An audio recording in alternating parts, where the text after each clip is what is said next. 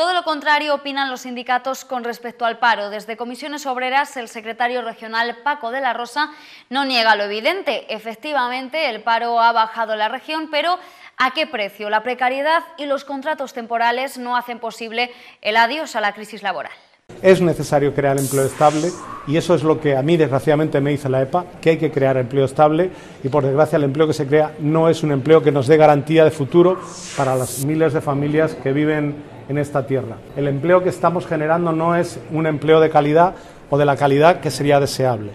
Pensar que cada mes, que trimestre a trimestre, casi un 35% de la contratación es contratación a tiempo parcial, es decir, que consagra esa legión de trabajadores pobres que, a pesar de trabajar, no tienen un puesto de trabajo, la precariedad eh, creciente que nos sitúa en más de un 97% de contratación eventual, pues son síntomas de que, a pesar de que crece el empleo, la sustitución de empleo estable por empleo precario es una realidad cada vez más acuciante. El acento lo ponemos en que si somos la segunda comunidad autónoma que más ha bajado el desempleo, 38.000, casi 39.000 personas, en términos absolutos somos la segunda y eso es importante. Si lo comparamos con la población activa, eh, con la población real que tenemos tanto en Castilla-La Mancha como en otras comunidades autónomas, no somos precisamente de las más pobladas.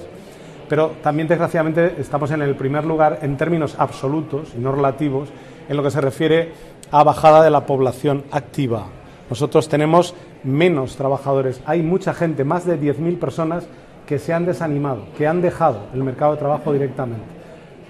Otras 2.500 personas que han decidido marcharse, no sé si a otro país o a otra comunidad autónoma. Eso es lo que nos dice es que seguramente el empleo que estamos generando no es un empleo de calidad o de la calidad que sería deseable.